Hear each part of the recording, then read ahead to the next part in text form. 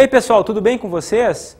Nosso clipe de abertura mostra aí algumas figuras com esportistas, com as belas praias brasileiras, com o comércio. E de que forma essas relações dentro do território brasileiro se estabelecem em relação à economia internacional, aos esportes internacionais, de que forma que o Brasil se insere nesse novo contexto. Dessa maneira, o tema da nossa aula de hoje é o Brasil no contexto da nova ordem mundial neoliberal. A nova ordem mundial é um sistema em que as relações comerciais estão na base do planeta. De que forma os países vão se relacionar na atualidade em relação a essas trocas e fluxos acentuados de mercadorias e quais os impactos desta política no território brasileiro. Um período anterior para demonstrar como o atual estágio se tornou tão efetivo em relação ao comércio mundial diz respeito à questão do mundo bipolar. O que seria, afinal, esse mundo bipolar? A partir da Segunda Guerra Mundial, duas nações se tornam hegemônicas. São as grandes vencedoras da Segunda Guerra Mundial, a saber, a União Soviética e os Estados Unidos, criando uma divisão em dois blocos de poder com dois sistemas distintos em relação à economia. De um lado, o bloco socialista atrelado a uma economia planificada, uma economia socialista, e de um outro lado, a economia dos Estados Unidos, uma economia dita capitalista. Essas duas nações vão acabar dividindo literalmente o mundo em termos de relações geopolíticas e também em função dos seus diferentes modos de produção as trocas comerciais vão estar muito mais acentuadas em relação ao modelo capitalista. Porque no modelo soviético dito socialista, a economia é voltada, a produção de, de produtos em relação à indústria, em relação ao comércio, é voltada para o país, é voltada para o bloco. É uma economia dita interna. Ocorre uma divisão em três mundos. Mas espera aí, professor.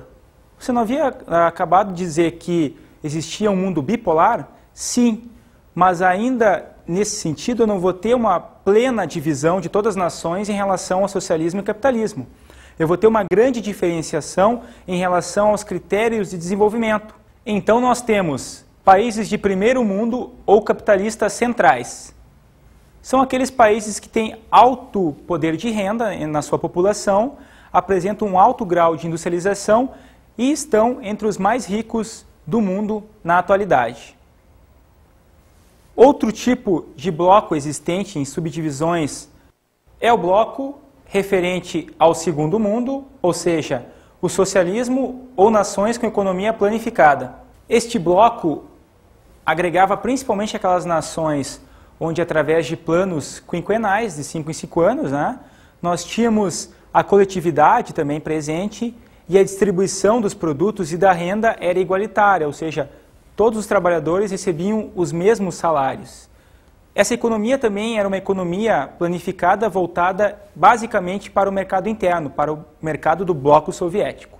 E a terceira divisão existente para aquele período histórico é a divisão que englobava os países do chamado Terceiro Mundo ou países periféricos. Neste bloco, eu vou ter a presença das nações mais pobres do mundo, as nações que na atualidade são chamadas de nações subdesenvolvidas, países que apresentavam para aquele período altos índices de mortalidade, muita pobreza e baixos índices de renda, de rendimentos, de renda per capita nas suas populações. Mas esse, esta divisão em três blocos, pertencentes a países pobres, os países socialistas e também os capitalistas ricos, vai chegar num momento, num período histórico, onde, através dos conflitos acentuados entre o bloco capitalista e socialista, eu vou ter um conflito muito eminente que vai chegar num período principal de disputas e, através de uma falha no sistema socialista, principalmente a partir de uma burocracia estatal que não era efetiva, que não era eficiente, eu vou ter o sistema socialista ah, chegando ao seu fim, principalmente com o ano-chave de 1989, a partir da queda do Muro de Berlim. Então eu vou ter basicamente o fim da bipolaridade, porque um único sistema vai se tornar hegemônico a partir daí. Esse sistema é o sistema capitalista. No caso da queda do Muro de Berlim, o principal aspecto para o fim da, das duas Alemanhas e uma reunificação delas, criando apenas uma única Alemanha, o principal fator que criou, na verdade, um sentimento de reunificação foi a questão das tecnologias empregadas, principalmente. Eu tinha uma Alemanha oriental dita socialista, de um lado, e uma Alemanha ocidental capitalista de outro. Só que as diferenças em termos de renda, em termos de acesso a produtos e mercadorias era gritante. O lado oriental não tinha as mesmas, as mesmas características de renda, de população, com altos índices de consumo que a população ocidental. E esses fatores diferenciados fizeram com que a população oriental comece a, começasse, aliás, a migrar cada vez mais em direção ao lado ocidental. Obviamente que como o sistema oriental não deu conta dessa competição em termos tecnológicos, eu tive um sistema extremamente ineficaz, com a burocracia estatal não funcionando, e no período seguinte a população sai às ruas querendo o fim do sistema socialista na Alemanha. Então eu tenho o fim da bipolaridade e um novo sistema vai surgir no mundo a partir daí. Esse sistema agora vai ser um sistema atrelado a um mundo multipolar, ou seja, vários polos de poder no mínimo três, a saber, primeiro, o polo ligado aos Estados Unidos, grande potência vencedora da bipolaridade, o polo empregado pela União Europeia, principalmente a partir da Alemanha, e o polo ligado ao Japão, uma grande economia, hoje a segunda maior economia do mundo.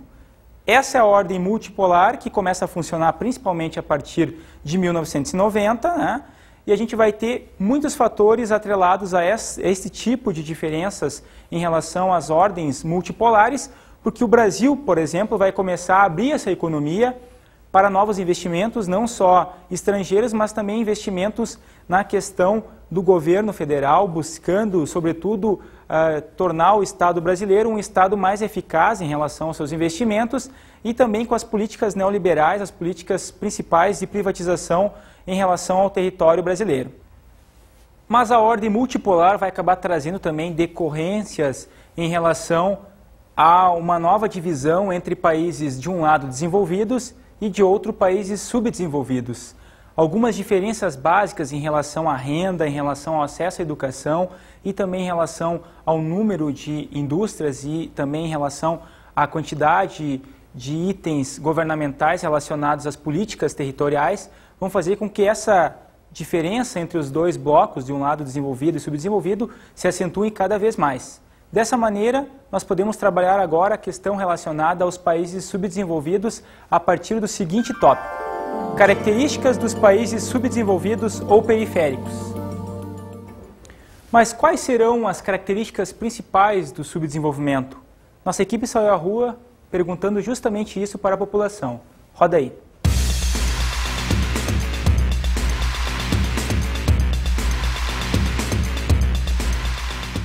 Quais são as principais características dos países subdesenvolvidos? Pobreza, é, analfabetismo. Poder aquisitivo também do, do pessoal uh, né, é baixo também. Desemprego, é, fome. A desigualdade social, o analfabetismo talvez. Acho que essas são as principais, talvez. E a desigualdade de oportunidades. Pobreza financeira e pobreza de cultura. A enquete mostrou muito bem as diferentes opiniões da população em relação às características principais do subdesenvolvimento. Questão da falta de acesso às melhores condições de vida a partir da educação, distribuição de renda e também a desigualdade social são fatores que vão acabar gerando nos países ditos subdesenvolvidos grandes níveis de acesso a esses bens, tanto de caráter social quanto econômico. Outra característica importante em relação aos países subdesenvolvidos é a questão do endividamento.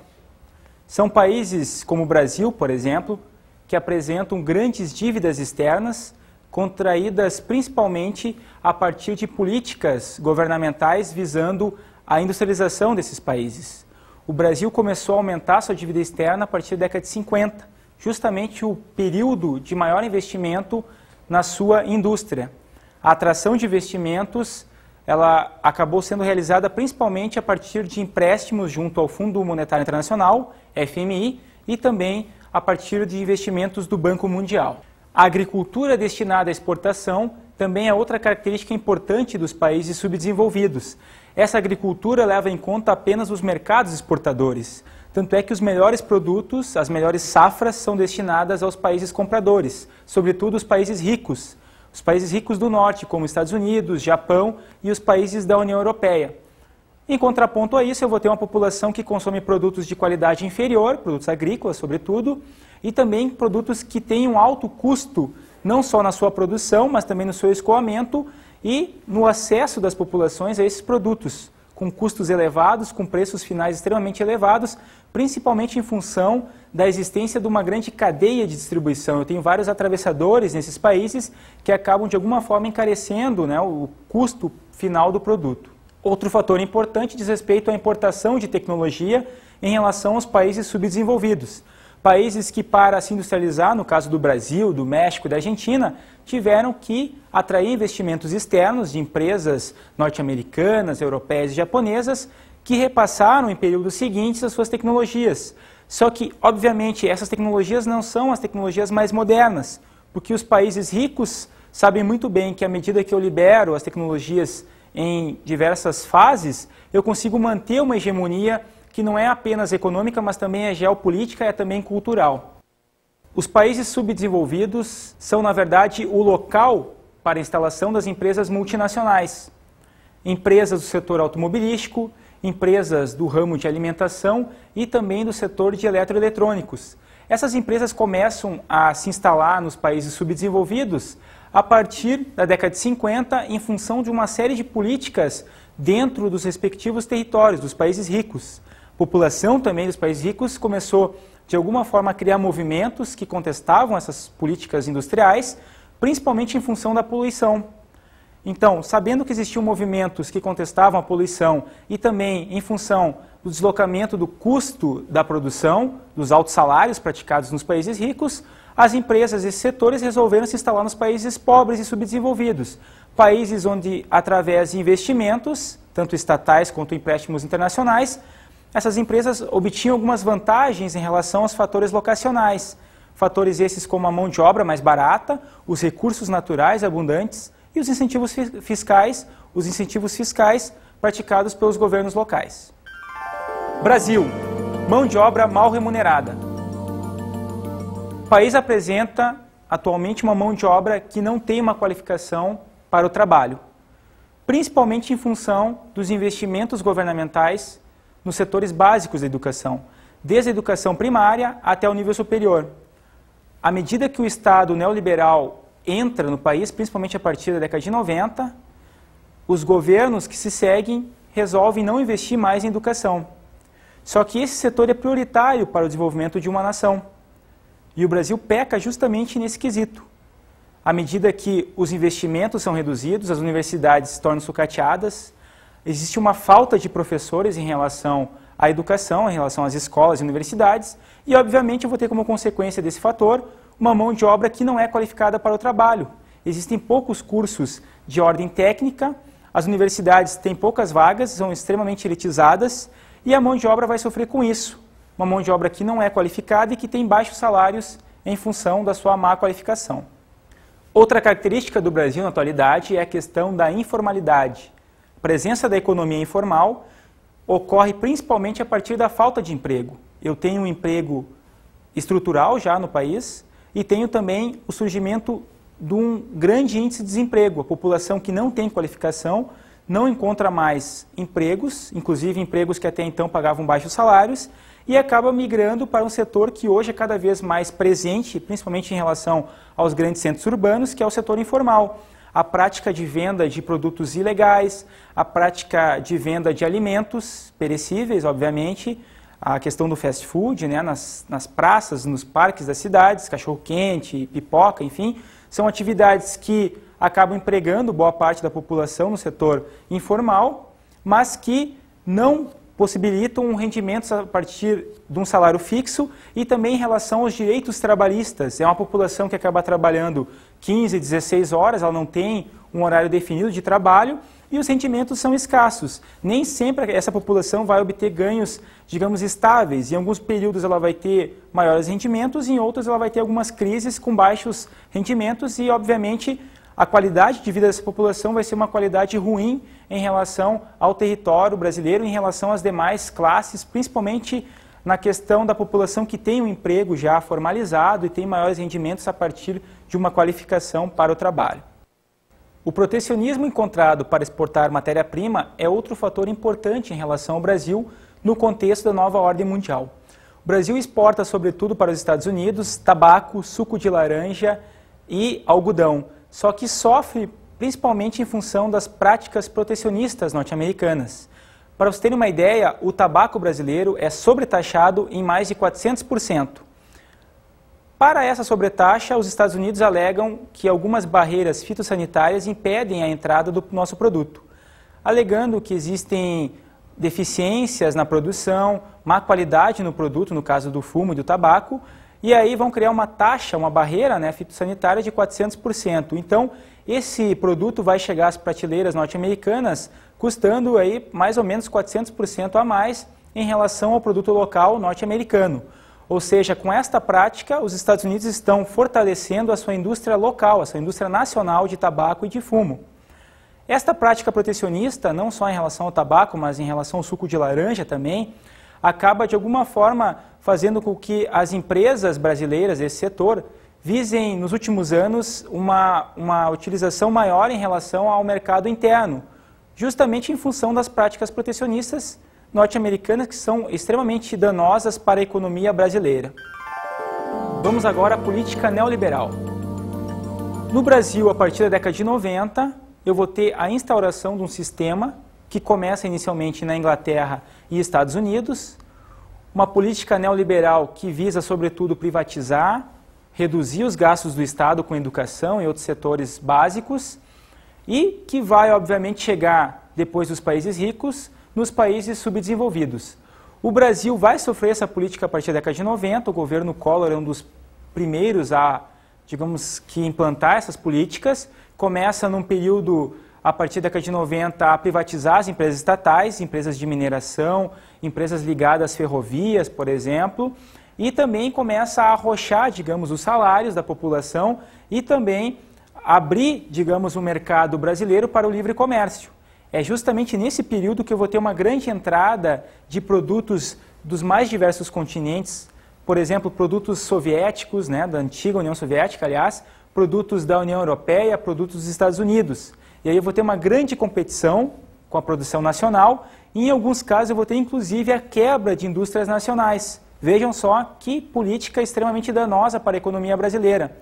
Para vocês terem uma ideia, o setor calçadista, que é um dos mais fortes, ainda é forte no Brasil, sofreu grande, uh, perdas, grandes perdas, aliás, principalmente a partir da competição com os calçados chineses, que entravam aqui a partir da década de 90, custando até 10 vezes menos que os calçados produzidos no Brasil. Mas o que é então o neoliberalismo? Um modelo que visa, sobretudo, reduzir os gastos do Estado. O Estado não deve mais se preocupar com gastos com educação, com saúde, com transportes. O Estado deve apenas regular a economia em épocas de crise. Esse modelo, na verdade, neoliberal, que está dizendo neo é novo e liberal tem a ver com as questões da economia livre, é um modelo que começou na década de 30 nos Estados Unidos, modelo liberal, e que toma uma nova roupagem, ele adquire uma nova roupagem a partir do final da década de 70, nos Estados Unidos e na Inglaterra. Chega aos países pobres subdesenvolvidos e acaba criando uma série de impactos para a economia mundial, porque hoje, dentro do modelo neoliberal, o que vale é a livre circulação de mercadorias e um afrouxamento, digamos assim, das fronteiras nacionais. Eu tenho que criar algumas medidas dentro dos territórios para receber investimentos externos a partir de empresas com as suas mercadorias e eu tenho que tornar o Estado cada vez mais viável em termos de investimentos e também em relação ao pagamento das dívidas externas. O Estado agora tem que cumprir as metas para os novos investimentos, para os novos empréstimos, junto ao FMI, junto ao Banco Mundial. E se o Estado não segue essas normas, essas cartilhas dessas organizações internacionais, em épocas de crise, esses países não receberão novos empréstimos, novos investimentos. a desregulamentação dos mercados de trabalho e bens e serviços. Esta é outra característica importante do modelo neoliberal no Brasil.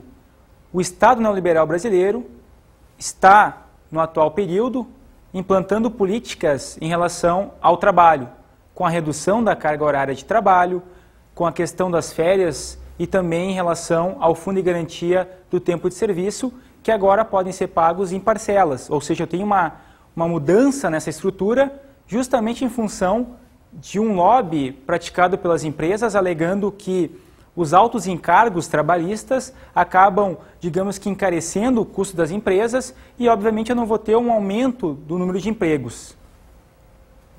Essa política também busca, a partir da redução das jornadas de trabalho e redução dos direitos trabalhistas, alterar a estrutura do trabalho, do mercado de trabalho no Brasil porque as reformas não dizem apenas respeito ao trabalho, mas dizem respeito aos incentivos fiscais, ou seja, uma redução na carga tributária, que permita uma expansão do mercado de trabalho, que hoje nós sabemos que no Brasil acaba deixando muita gente de fora, criando uma espécie de exército de reserva de mão de obra, porque em função de uma diferença dos níveis tecnológicos, a má qualificação da população e também em função dos novos empregos tecnológicos, aqueles empregos que utilizam alta mecanização, eu tenho muita gente desempregada, principalmente nos grandes centros urbanos brasileiros. O questionamento do poder do Estado como aparato protetor das economias nacionais é outra característica importante do modelo neoliberal no Brasil. O Estado deixa cada vez mais de incentivar novas tecnologias no território, a construção de estradas infraestruturas, ou seja, dentro de uma lógica que era nacionalista, o Estado não mais investe nessas áreas e acaba priorizando apenas a questão das moedas, a circulação das moedas e serviços a partir de controles econômicos, a partir do Banco Central, que vai estabelecer políticas, a criação de fluxos de câmbio, a entrada de novos investimentos estrangeiros e também em relação às políticas salariais. Esta é a principal função do Estado brasileiro em relação à nova ordem mundial. Próximo ponto importante em relação à questão da nova ordem mundial e seus reflexos no Brasil é a questão da abertura econômica e financeira para o exterior. A abertura brasileira para a entrada de investimentos não só produtivos em relação à chegada das indústrias provindas dos países principalmente ricos, mas também os investimentos especulativos em bolsas de valores acabam de alguma forma regulamentando os fluxos não só de mercadorias, mas também de serviços no território brasileiro. Hoje, no atual período do modelo neoliberal, cada vez mais eu tenho bolsas de valores interligadas. No caso, no Brasil, a gente tem a Bolsa de São Paulo como bolsa principal, interligada com as principais bolsas do mundo, bolsas como Nova York, a Bolsa de Paris, a Bolsa de Tóquio, que são bolsas que regulamentam os investimentos e hoje com a questão da globalização eu tenho trocas de fluxos de moeda, por exemplo, investimentos especulativos instantâneas a partir de um computador central. Interligados esses computadores, eu posso criar inclusive crises em relação a países periféricos. Um exemplo desse fator ocorreu com a crise asiática na década de, final da década de 90, que teve reflexo sim na economia brasileira, justamente em função dessa interligação existente a partir das bolsas de valores. A privatização das empresas estatais é um outro fator muito importante para o Brasil na nova ordem mundial.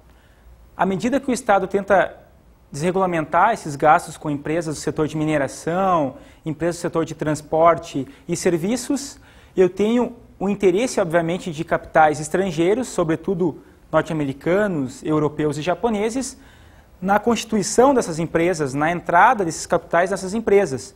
E, obviamente, uma das características principais da entrada dos capitais nas privatizações é a questão da redução dos postos de trabalho.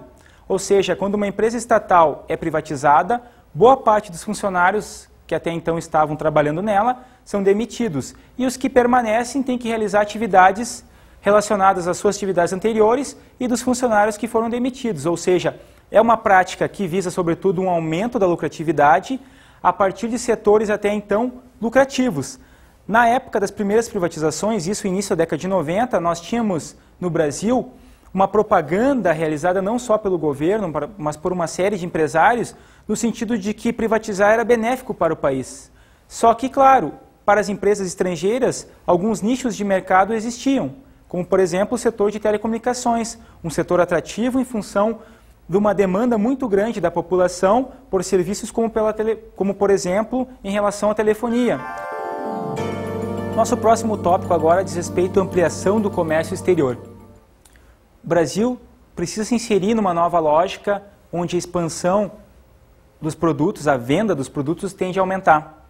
Dessa forma, o Brasil acaba criando acordos, não só dentro de blocos, mas também acordos bilaterais entre países, e busca, sobretudo, aumentar suas exportações, gerando maiores divisas para o país. A entrada do Brasil no Mercosul, Mercado Comum do Sul, foi uma iniciativa importante para inserir o Brasil na questão do aumento das exportações em relação aos países integrantes desse bloco. O Mercosul foi criado a partir do Tratado de Assunção, estabelecido no ano de 1991 mas a partir de uma crise na Argentina, isso principalmente aí pelo final da década de 1990, a economia desse país passa por um grande desmantelamento, principalmente em relação à sua indústria, e visando nos anos, seguinte, nos anos seguintes uma nova remodelação industrial, o país resolve criar alguns embargos em relação ao seu principal concorrente, no caso o Brasil.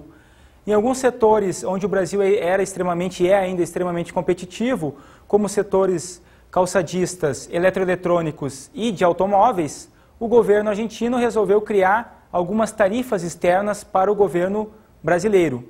Logo, a entrada dos produtos das empresas brasileiras ficaram dificultadas em função de um reaquecimento da economia do país vizinho, no caso da Argentina. Então nós temos hoje um bloco chamado Mercosul num período de crise, onde a liderança do bloco ainda não está definida e com essas trocas acentuadas entre Brasil e Argentina comprometidas, nós temos um período onde a diplomacia, tanto do Brasil quanto da Argentina, busca resolver esses problemas de ordem meramente econômica. Mas o Mercosul, à medida que tenta avançar em termos não só de trocas comerciais, mas também culturais, busca de alguma forma agregar novos membros. O Brasil busca uma ampliação das relações internacionais a partir da instituição de acordos bilaterais com economias ditas emergentes, principalmente em relação à China, que é uma grande potência na atualidade. O Brasil firma alguns acordos em relação à soja exportação de soja e também em relação à questão do petróleo brasileiro, da Petrobras, presente hoje já dentro do território chinês. Outros países importantes em relação aos atuais acordos bilaterais brasileiros são países do norte da África, como a Líbia, Angola e Egito, e também alguns países integrantes do chamado Oriente Médio, países como o Irã, a Jordânia e a Síria. O Brasil busca muitos acordos com essas nações, visando basicamente ter um maior poder de barganha em relação a países desenvolvidos. Porque em épocas de crises, em relação a alguns produtos, quando os países ricos deixam de comprar esses produtos brasileiros, sobretudo produtos agrícolas, o país vai poder, no momento seguinte, negociar esses produtos com essas nações aí, onde os acordos bilaterais foram estabelecidos. E finalizando, vamos ver agora as consequências do neoliberalismo para o Brasil. À medida que as políticas neoliberais vão adentrando no território brasileiro, eu tenho uma série de consequências em relação a essas políticas preconizadas, principalmente no que diz respeito à distribuição de renda, ou seja, eu tenho uma redução na renda do brasileiro, principalmente a partir dos postos de trabalho que são reduzidos, a indústria é cada vez mais tecnológica, ela reduz o número de postos de trabalho em função de uma robotização. Eu vou ter como consequência disso alguns problemas sociais decorrentes. Um exemplo principal é a questão da violência, que aumenta principalmente nos centros urbanos, em função da questão da falta de perspectivas para o futuro. Outra característica importante desse atual período no Brasil diz respeito ao comércio ilícito, que cada vez mais aumenta, principalmente em função de uma falta de perspectiva no mercado de trabalho brasileiro. A população acaba se inserindo, então, na chamada economia informal, praticando atividades que não têm nenhuma regulamentação, não geram impostos para o país e também não tem nenhum jeito trabalhista para a população que utiliza esse tipo de economia. A dependência financeira externa é outra característica presente no território brasileiro a partir das práticas neoliberais. Nesse atual período, cada vez mais em épocas de crise, o país tem de recorrer aos organismos internacionais como o FMI e o Banco Mundial. Logo, o país também tem que se adequar às normas desses organismos, principalmente num fator hoje primordial para a economia brasileira, que é a questão do superávit primário, onde o país tem que seguir as normas, reduzir os gastos salariais dos funcionários públicos, por exemplo, reduzir os gastos com setores como educação e saúde para cumprir as metas anuais praticadas por esses, por esses organismos internacionais. Bem, espero que vocês tenham gostado da nossa aula. Vamos agora às nossas dicas de estudo.